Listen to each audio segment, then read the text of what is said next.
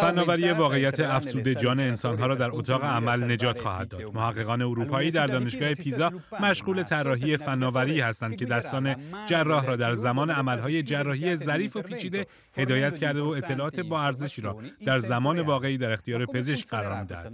اما این فناوری دقیقا به چه صورت عمل می کند؟ آینده پزشکی بیشتر از قبل به سمت فناوری های پیشرفته حرکت می کند. فناوری واقعیت افزوده قرار است تحولی بزرگ در اتاق عمل ایجاد کند. محققان اروپایی در این بیمارستان در شهر پیزا در ایتالیا در حال طراحی و آزمایش دستگاهی هستند تا بیشترین و بهترین اطلاعات را در جراحی های پیچیده مثل جراحی فک و صورت به جراح منتقل می کنند. ما اغلب در جراحی فک صورت برای اصلاح ناهنجاری های اسکلتی و فکی مجبوریم بخش هایی از اسکلت صورت را تغییر بدهیم.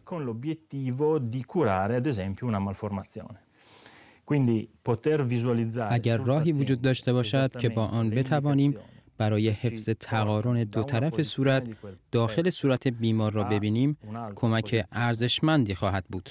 garantendo che contemporaneamente si mantenga la simmetria è ovviamente un aiuto inestimabile. در این طرح از دو مدل موجود هدست واقعیت افزوده استفاده می شود. داده های مهم مثل تعیین مکان دقیق جراحی، اطلاعات مربوط به تنفس و ضربان قلب بیمار در صفحه نمایش هدست در مقابل جراح نمایش داده می شود.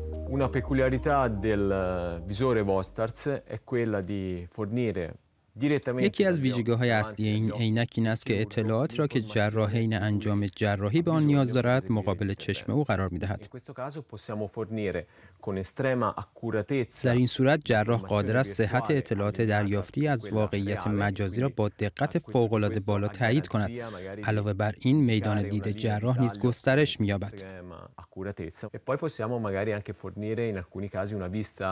magnificata, una vista ingrandita.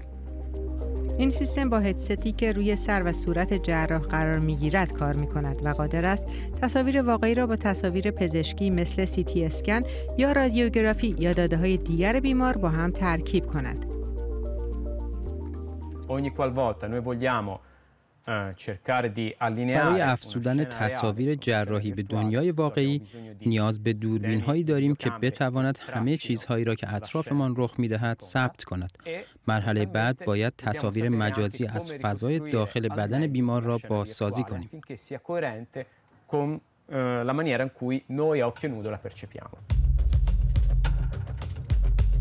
انتظار می رود این فناوری دقت عمل جراحی را افزایش و زمان جراحی را حداقل 11 درصد کاهش بدهد.